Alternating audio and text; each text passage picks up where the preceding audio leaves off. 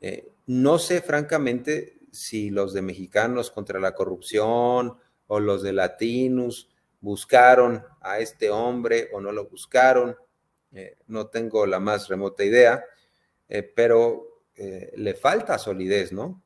A esa investigación de mexicanos contra la corrupción. Yo creo que les agarraron las prisas para tratar de sentenciar a José Ramón eh, López Beltrán, que no Ramón López Velarde, ¿verdad? Eh, y sobre todo para lanzarse en contra del presidente. Eh, a propósito de estas declaraciones, ¿qué más dice esta agencia Bloomberg?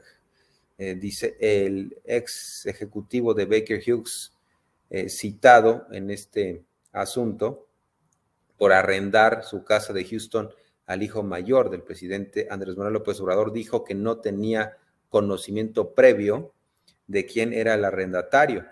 Kate Schilling, eh, quien trabajó para Baker Hughes entre 2016 y 2019, habló públicamente por primera vez sobre su participación, eh, comentando en un correo electrónico a Bloomberg News. Eh, Schilling dijo que su casa estaba vacía y disponible para alquilar después de que se mudó para administrar el negocio de Canadá del gigante de servicios petroleros. Entonces, él andaba en Canadá y él insiste que no tenía injerencia en negocios para México. Eh, no tenía responsabilidad por ninguna actividad comercial o contrato en o relacionado con México.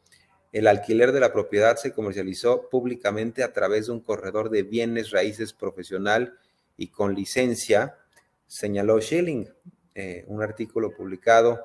Y bueno, dan el contexto del artículo, eh, pero bueno, resaltar eh, que también se señala Baker Hughes, que ayuda a las empresas a mapear cavidades de crudo subterráneo y perforar en busca de petróleo, dijo en un comunicado emitido a principios de semana que ha trabajado en México durante más de 60 años y que no tuvo nada que ver con el contrato de arrendamiento de Schilling.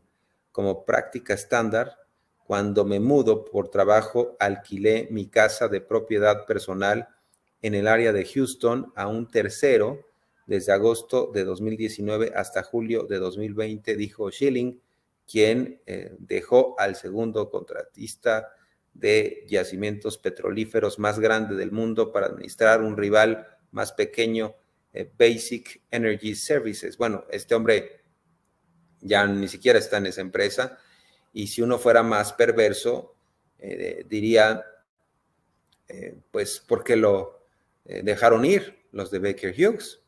si se supone que ya tenían la relación con el hijo eh, del presidente López Obrador. Eh, entonces yo creo que eso es más a, su favor, eh, refiriéndome a José Ramón, ¿no?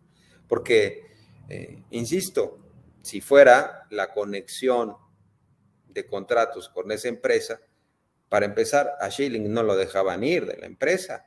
Dirían, pues está amarrado, con el hijo del presidente y está entregando contratos, pero no hay ese vínculo, ¿no? Cuando menos no está aprobado. Eh, insisto, es muy extraño que dejen ir a este hombre los de esa empresa si supuestamente había una relación. Lo que él dice es que, pues no, eh, de hecho él se fue a Canadá y le dejó eh, a otra empresa pues digamos que la responsabilidad sobre el alquiler de su casa. Eh, entonces, bueno, interesante. Yo creo que hay que poner los elementos periodísticos sobre la mesa y esto se tuvo que haber hecho antes de salir con un petardo, ¿no? Antes de eh, tratar de sentenciar al presidente, porque si uno revisa los encabezados de latinos y mexicanos contra la corrupción, sentencian al presidente. Y por eso el presidente ha tenido esta reacción, que esperaban que el presidente eh, se agachara. Además, no conocen al presidente. ¿Cuál es la historia de López Obrador? Cuando lo han golpeado, él no se achica, ¿no? Él va para adelante. E incluso la declaración de hoy en Tlaxcala es, eh, yo creo que eh, para escucharla, eh, para reflexionar sobre lo que plantea, porque acude a la frase sobre pues uno de sus grandes referentes de la historia, Benito Juárez, ¿no? Dice, nos van a seguir haciendo lo que el viento a Juárez.